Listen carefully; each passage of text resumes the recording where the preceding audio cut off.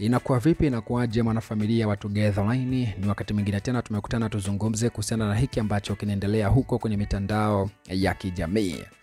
E bwana, uh, tuko na hili sakata la mzazi mwenzake na Alikiba e, na uh, mzazi mwenzake na Alikiba pamoja na Nifa. E, nimetoka kuletea stori kwamba mzazi mwenzake bwana na Alikiba ameweza kuchukizwa sana na kitendo cha Nifa kuonekana anamposti mtoto wake kwenye mitandao ya kijamii pasipo ridhaa yake, so ameweza kumchimba mkwala kwelikweli, na inavyoonekana ni kwamba uh, hakuishia tu kuposti kwenye mitandao ya kijamii, bali huyu mzazi mwenzake na Alikiba alimpigia kabisa Nifa simu. E, na kumwambia kwamba bwana, achana na mtoto wangu, lakini Nifa inavyoonekana ni kwamba alijishusha, akamwomba msamaha na sasa hivi Uh, huyu mwanamke bwana amekuja na kuandika tena ujumbe mwingine tena kuhusiana na Nifa. Nitakupitisha kwenye ule ujumbe wake wa kwanza wa chapchap, alafu nitakuleta tena kwenye huu ujumbe wake wa pili eh, kwa sababu inavyoonekana ni kwamba wameelewana, wamepigiana simu, naona wakayasolve hayo mambo. Ujumbe wake wa kwanza ambapo ulikuwa amesema kwamba binti, mbona kama una moto sana? Manake huyu mzazi mwenzake na Alikiba aliposti uh, huu ujumbe kutokana na Nifa kuonekana yuko na mtoto wake e, so hicho kitu haku, uh, hakukipenda na akawa amemwambia uh, binti, mbona kama una moto sana, yaani fanya yote ila shobo zako na mtoto wangu wacha kabisa, sikujui wala hunijui wewe, dili na huyo mchati wako. Anasema shobo na mtoto wangu wacha, mixazi huu to him. Mke wa Alikiba au nani huyo? Mke wake wa ndoa hajawahi kumposti, wewe ni nani? Labda anasema punguza spidi kwanza, kuna wenzio walikuja kama wewe, sasa hivi wamejituliza, so chill binti. Yaani unaenda kabisa kumposti mtoto wangu wewe kama nani? Fansi wake au shobodundo tu? Anasema kwamba uh, mkewe uh, mke wake tu hajawahi hata ku, kwa bahati mbaya eh, kumposti wewe binti mwenye shobo chafu. Alikiba, please tell them to stay far na kijana wangu.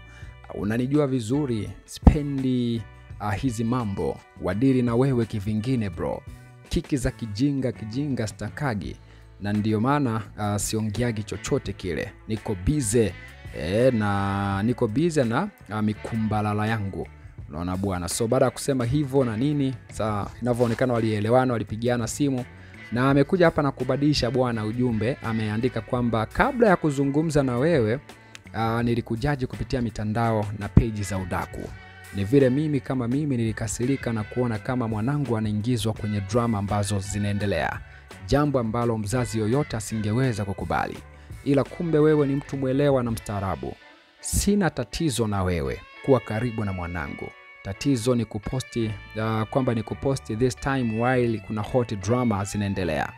Na so, uh, so kwamba so uh, pro, eh, to protect him pale unapoweza. Okay, anasema kwamba so protect him pale unapoweza, ila na wewe sijui ni muhaya wa wapi yani. Anasema kwamba ujitulize, kitakukuta kitu. Akaweka emoji ya kucheka, anasema peace my sister, akamtagi pale Nifa. So manake hapa unaweza ukaona tayari wameshapigiana simu na mambo yako shwari. Hapa huyu akaja akasema kwamba hapo kalipwa, anasema mchezo wa siku, kwamba hapo kalipiwa mchezo wa siku elfu ishirini na tano kapewa gauni elfu thelathini na tano kaidiwa utapewa uh, duvet e, uh, karegea mwenyewe chezea dadangu Nifa wewe.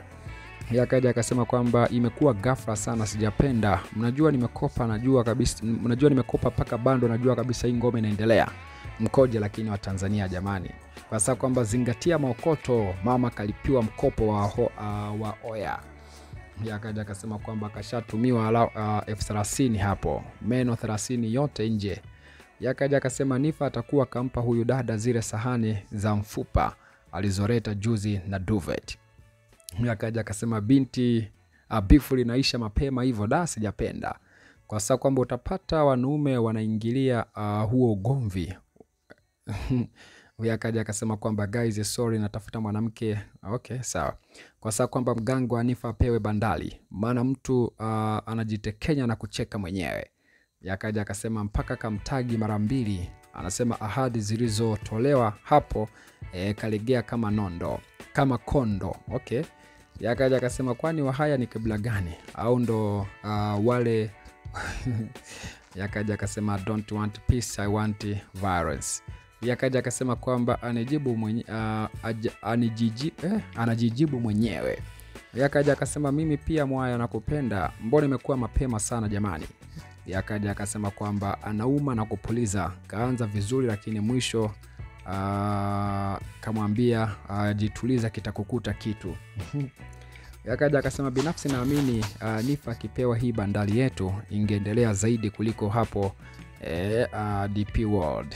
Akaja akasema mbona jamani, imekuwa ni ghafla sana, yaani hata sijapenda haida, hatujachangamka vizuri, kwa saa kwamba mimi nampenda Nifa vile hajibishani, kwa saa kwamba mimi pia sijapenda, kwa saa kwamba miduvet mine ma, mafeva mafeva zero. Do. Kwa saa kwa wambea kazi wanayo, kwa saa kwamba kabisa, kwa saa kwamba najikuta njia panda, ghafla watu wameshapatana zao huko. Yakaja akasema sijapenda kwa kweli, nini hiki? Kwa saa kwamba du, hata sijapenda walai. Eh, hawa ni watu ambao walikuwa wamefurahia kwamba vita imeenda kunuka, lakini ndo hivyo, imekuwa ni tofauti. Watu wameshapatana, eh, watu wamesha uh, wameshamaliza, na ni vizuri by the way kumaliza eh, kumaliza uh, kumaliza eh, kumaliza kumaliza ugomvi. Sio vizuri kuendelea na maugomvi na nini, sio kitu kizuri kabisa. Nataka niwapitishe labda kwenye komenti mbili tatu uh, kwenye komenti mbili tatu za mwanzo eh, watu walivyokuwa wanasema kipindi uh, Nifa sasa ameweza kuchanwa na huyu mwanamke. Huyu hapa anasema kwamba kwamba yani sometimes Nifa haya anayataka, anasema sijui ana shida gani huyu binti, mara gauni jeupe leo, mara mtoto alikiba. Jamani, hapa naongea kama mwanamke aliyebeba mimba miezi tisa na kwenda leba.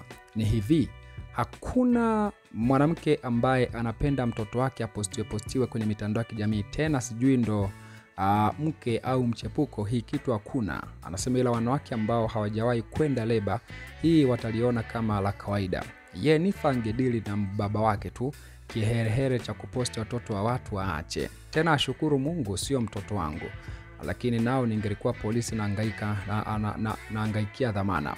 Yeye adili na kiba tu, aachane na watoto wa watu kama raha e, na yeye aende reba. Akaja akasema, na ambao hawajielewi ni ambao hawajazaa. Anasema kwamba mimi a, nikute mtu akaposti mwanangu nitamkata masikio, kwa sababu kwamba binti anawashwa sana yule. Jamani, sijui ndo utoto, sijui akili. Anasema mimi Uh, asisubutu kuwa na hekaheka heka na mwanangu. Kwanza anamposti ili weje kwamba tujue anajua familia nzima au vipi? Akaja akasema Bukoba moja hiyo, watu na misifa yao, kwa sababu kwamba kuzaa hawataki, wanataka kuposti wa wenzao. Laugh out loudly, inakera hatari, kwa sababu kwamba yani sasa hawajui uchungu wa mtoto na mama bwana, kwamba hawajui uchungu wa mtoto kwa mama anasema tena ndo ukute mama alisumbuana na baba katika malezi. We unaweza ukamvaa mtu upate kesi.